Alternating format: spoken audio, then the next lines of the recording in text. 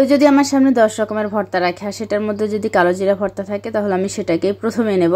কারণ আমার এই ভর্তাটা খেতে অনেক বেশি মজা লাগে। অন্যদিকে আমার আফু বা আমার আম্মু এটা একেবারেই খেতে পারে না। ওনাদের কাছে নাকি অনেক বেশি তেতো লাগে। যাই হোক, আমার কাছে তেতো একেবারেই লাগে না। আজকে আমি তিন চার রকমের ভর্তা বানাবো আর সেটা ভাবলাম আপনাদের সাথেও শেয়ার করি। আর সাথে থাকবে ডাল। আসসালামু আলাইকুম এভরিওয়ান কাছেরা বন্ধুরে, দেশ বন্ধুদের বাহিরে যে যেখান থেকে আমার আজকে ভিডিওটি দেখছেন, কেমন আছেন সবাই? আশা করছি সবাই খুব ভালো আছেন। আলহামদুলিল্লাহ, আমরাও ভালো আছি। আমি কুমিল্লার মেয়ে বলছি ঢাকা থেকে। চলে আসলাম আজকে আমার ছোট্ট একটি ব্লগ আপনাদের সাথে শেয়ার করার জন্য। আজকে ডাল রান্না করব আর কয়েক রকমের ভর্তা করব, সেজন্য ডালটা আগে ভিজিয়ে রেখেছিলাম। অনেকেই ভাবতে পারেন আজকে আমি আমার জেলার নাম কেন বলছি। অনেক বড় বড় ব্লগারকে দেখি, তাদের জেলাকে আসলে অনেক বেশি প্রাধান্য দেয়। সেই হিসাবে জেলাটাও অনেক পরিচিত হয়। তো ভাবলাম, আমি যেহেতু কুমিল্লার মেয়ে, আর কুমিল্লাকে আসলে সবার কাছে পরিচিত করাটা এটা আমার একটা দায়িত্বের মধ্যে পড়ে। সেজন্য ভাবলাম এখন থেকে আমি যে কুমিল্লার মেয়ে, সেই কথাটা আমি আসলে গর্বের সাথে আপনাদের সাথে শেয়ার করব। আজকে ডাল রান্না করব, ঠিক আছে, কিন্তু একটা কাহিনী ঘটে গেছে। কারণ আমার যে ডাল গুটনি, সেটা আমার ছেলে মানে তারিফ ভেঙে ফেলছে কিছুদিন আগে, সেটা আমার মাথায় ছিল না। এখন ডাল গুটনি খুঁজতে গিয়ে আমার মনে পড়ছে, কিছুদিন আগে তো তারিফ আসলে এটা টাইলসের সাথে বাড়ি মেরে মানে ভেঙে ফেলছিল। তো কতক্ষণ ভাবলাম যে আসলে কি করা যায়? ডাল তো আসলে ঘুটা ছাড়া মজা লাগে না। তো আমি কি করলাম? মানে ডালগুলোকে একটু ছেঁকে নিলাম, এরপর ঠান্ডা করে এটা আমি ব্লেন্ড করে নিয়েছি। আর এই প্রথম আমি আসলে এভাবে করতেছি, তো এটা করা ছাড়া আমার কাছে আর কোনো অপশন ছিল না। এই কাজটা করতে আসলে আমার অনেকটা সময় লেগেছে মানে ডালটা ঠান্ডা হওয়া লাগছে, এরপরে ব্লেন্ড করে আবার দিয়েছি। আর এখন আমি বাগার দিয়ে উপরে ধনে পাতা দিয়ে দিলাম। আর এই ডালটা রান্না করতে আমার মানে এক দেড় ঘণ্টার মতো সময় লেগেছে।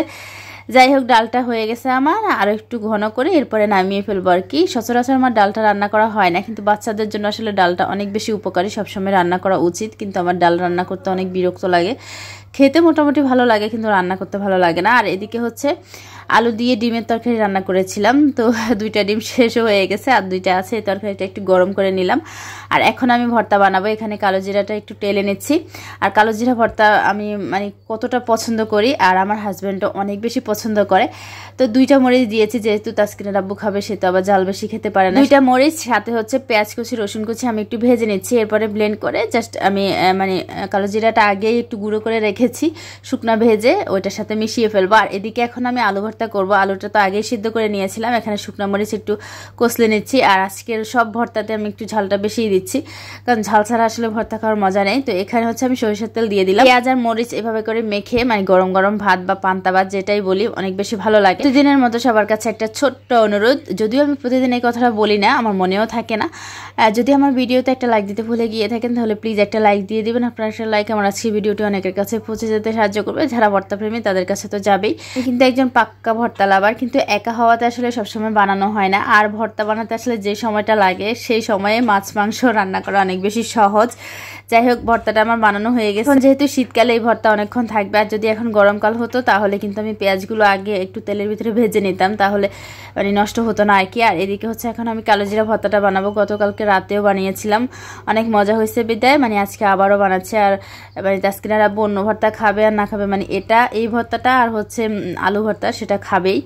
তো এই তো, এই ভর্তাটাও বানানো হয়ে গেছে। মানে এখনই আমার মন চাচ্ছে ভাত খেতে, কারণ অনেক বেশি গ্রান আসতেছে। এখন টমেটো ভর্তা করব, আর অনেকগুলো টমেটো জমে আছে। ভাবলাম একটু ভর্তা করলে কিছুটা শেষ হবে আর কি।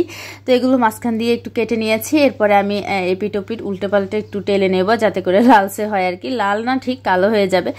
তো এটা যখন একেবারে ভাজা হয়ে যাবে, তখন আমি এটা দিয়ে ভর্তা করব। আর এই ভর্তাটা খেতে কিন্তু একেবারে টক টক মানে আমার কাছে অত একটা ভালো লাগে না, কিন্তু তাও বানাচ্ছি, কারণ হচ্ছে অনেক টমেটো আছে, সেজন্য আর কি।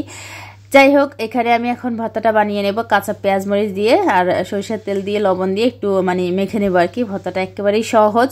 আর ভর্তা বানাতে কে পারে না? আমার কাছে মনে হয় সবাই পারে, কারণ যারা মানে ভর্তা পছন্দ করে তারা অবশ্যই পারে। আজকে আসলে বাচ্চাদের জন্য ডিম আলুর তরকারিটা দিয়ে হয়ে যাবে আর আমাদের জন্য এটা আর কি। তো বিকালবেলা রান্না করব। এখন যেহেতু সকালবেলা সকালবেলা এগুলো দিয়ে আসলে হয়ে যাবে আর কি। তো আমাদের এখানে পাশে আসলে পাইলিংয়ের কাজ চলতেছে সেজন্য বয়স দিতে পারতেছি না। তো মেশিনটা চালু হয়ে গেছে অলরেডি মানে কথার মধ্যেই। সারাদিনই আসলে মেশিনটা চলে আর যখনই এটা বন্ধ হয় তখন আমাকে বয়স দিতে হয় কি যে কষ্ট তো আর দুই তিন দিন এরকম চলবে আর কি। যাই হোক এই ভর্তাটা আমার তৈরি হয়ে যখনই আসলে কোনো মরিচ ধরতাম হাত এত বেশি জ্বালা পোড়া করতো আর এখন মাসাল্লাহ একেবারে দশ রকমের ভর্তা বানালেও আমার হাত একেবারেই জ্বালা পোড়া করে না। আসলে সবকিছু হচ্ছে অভ্যেসের ব্যাপার। আর এই লাল মরিচের ভর্তাটা কিন্তু মানে পেঁয়াজ কাঁচা পেঁয়াজ দিলে অনেক মজা লাগে। এখানে শুটকি টেলে ফেলে দিয়েছিলাম। এই ভর্তাটা অনেক ভালো লাগে, গরম ভাত, পান্তা ভাত সব কিছুর সাথেই ভালো লাগে। তো আজকের ভিডিওটি আর বড় করতেছি না, যে যেখানে থাকবেন, ভালো থাকবেন, সুস্থ থাকবেন, আমাদের জন্য দোয়া করবেন। দেখা হবে অন্য কোনো দিন নতুন একটি ব্লগে সে পর্যন্ত সবাই নিজের খেয়াল রাখবেন। থ্যাংকস ফর ওয়াচিং আল্লাহ হাফিজ। আসসালামু আলাইকুম।